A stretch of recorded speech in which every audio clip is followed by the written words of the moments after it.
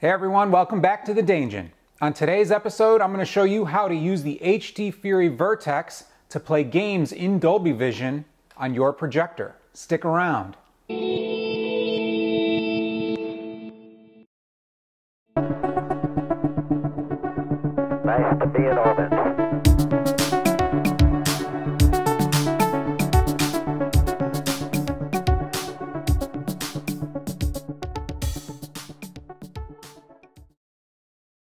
Thanks everybody for joining me here on the Daingeon. Make sure you hit that like and subscribe below.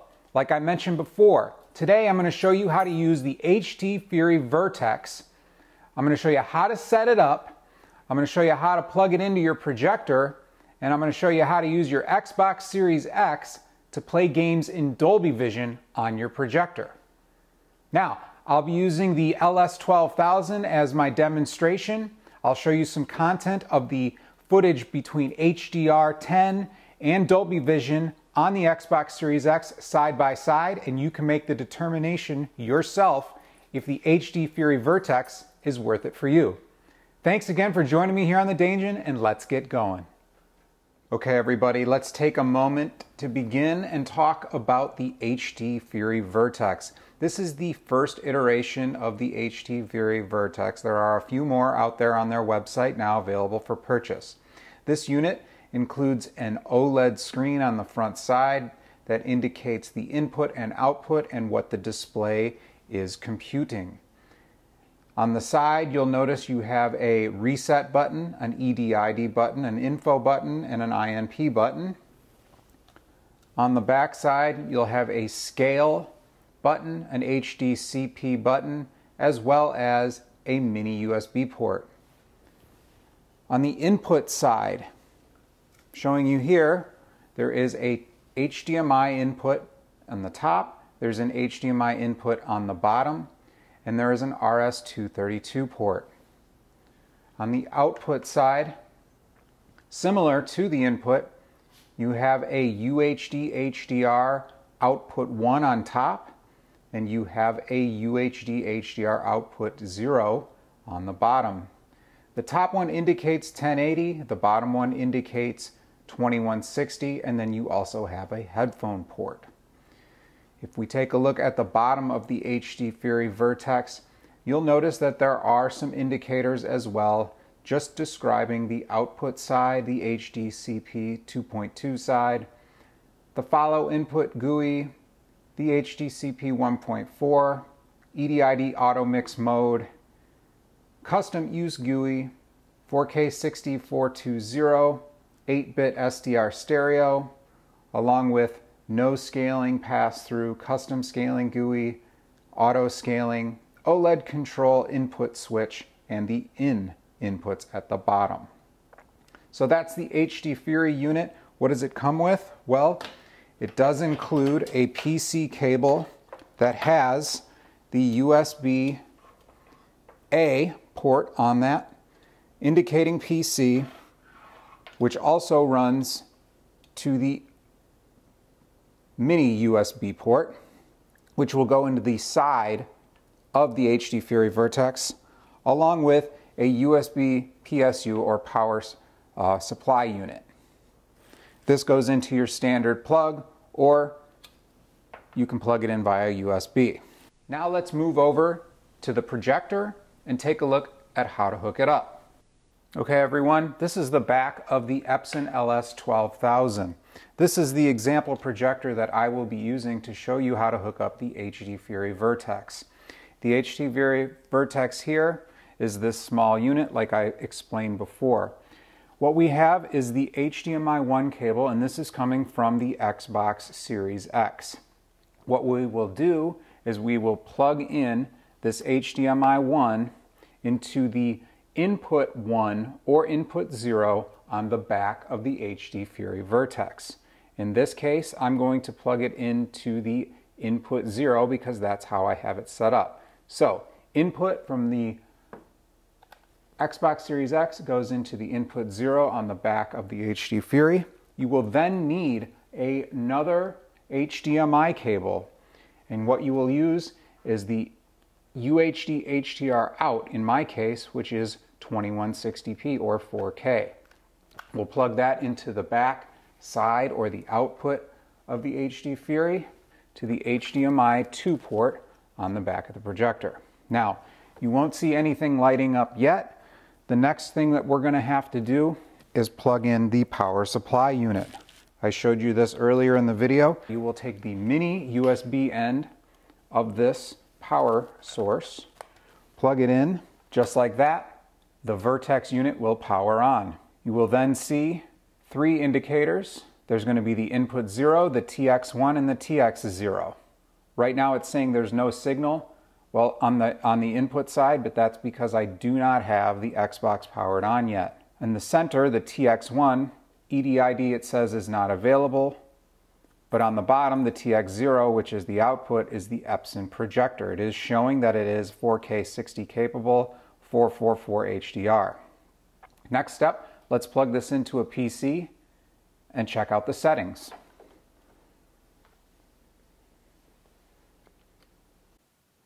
Okay everyone, the next step is we are going to plug the HD Fury USB cable from the HD Fury Vertex device into this laptop computer.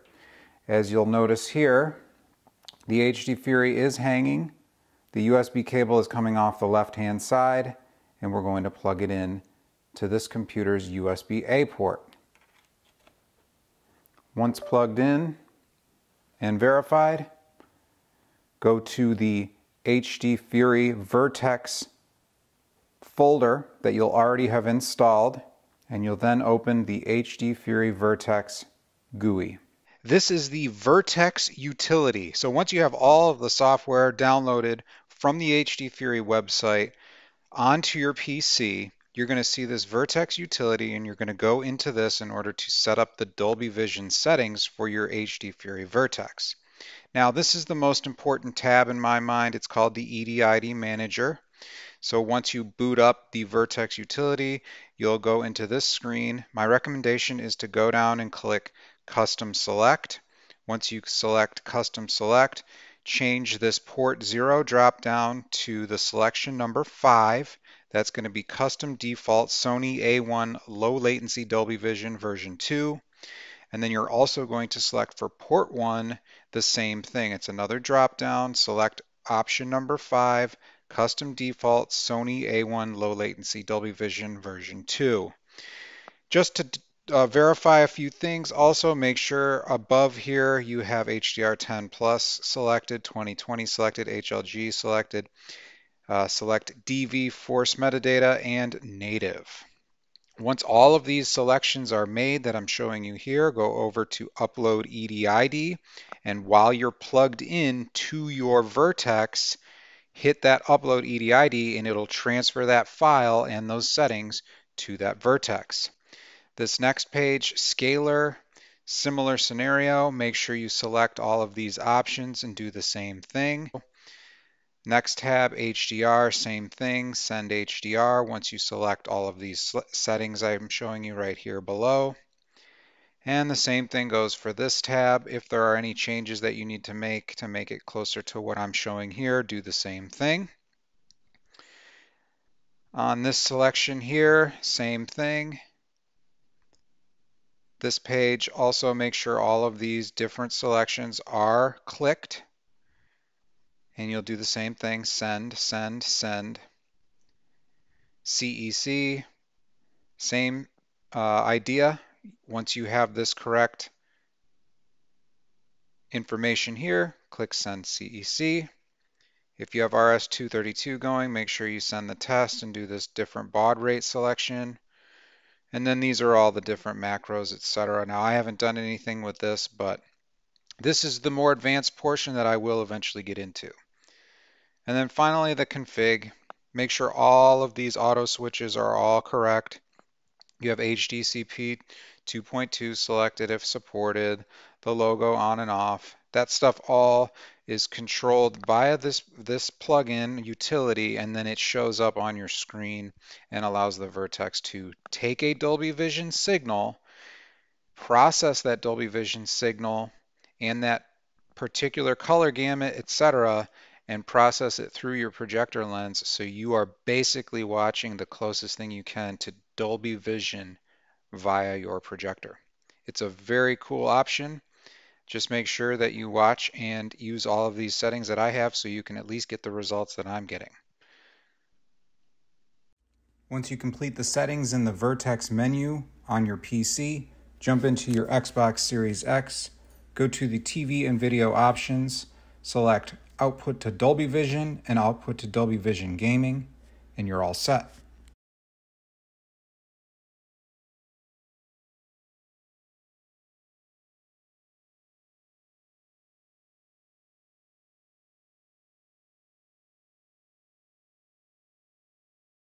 Now that we have selected the Xbox Series X Dolby Vision setting in the menu, let's, let's show you some Forza Horizon 5 footage comparing Dolby Vision first, HDR10 second, and then both Dolby Vision and HDR10 side by side.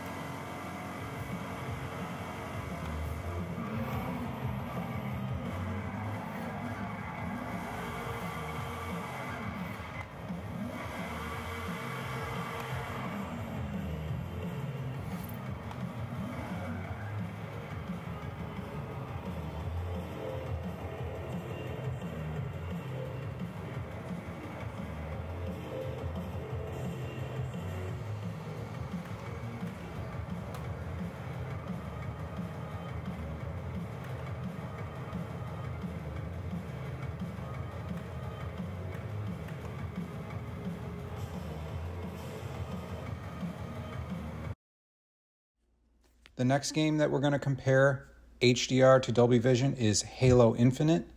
I'm going to show you the HDR10 version first and then the Dolby Vision second, followed by them both side by side.